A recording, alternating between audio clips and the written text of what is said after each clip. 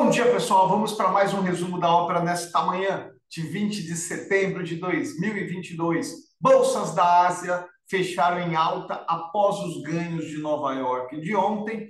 Os futuros dos Estados Unidos, por sua vez, operando levemente baixista, antevendo possíveis realização de lucro pós as altas de ontem, tá bom?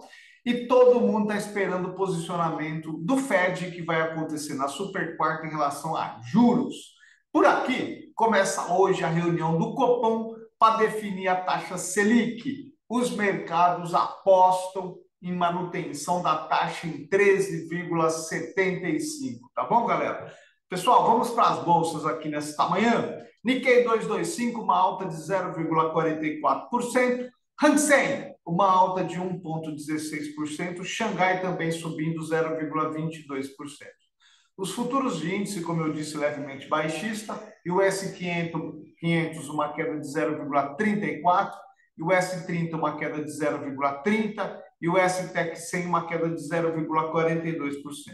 Eurostock Eurostock 50 caindo 0,75% nesta manhã na Europa.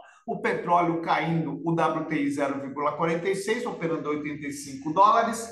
O Brent caindo 0,20%, operando a 91,84 dólares.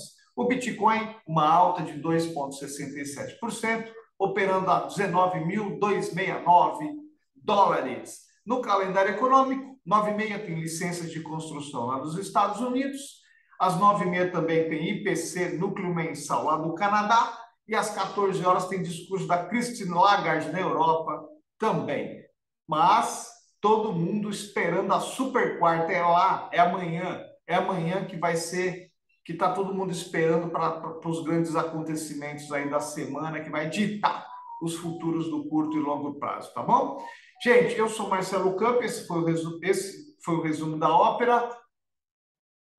Balança mercado, balança!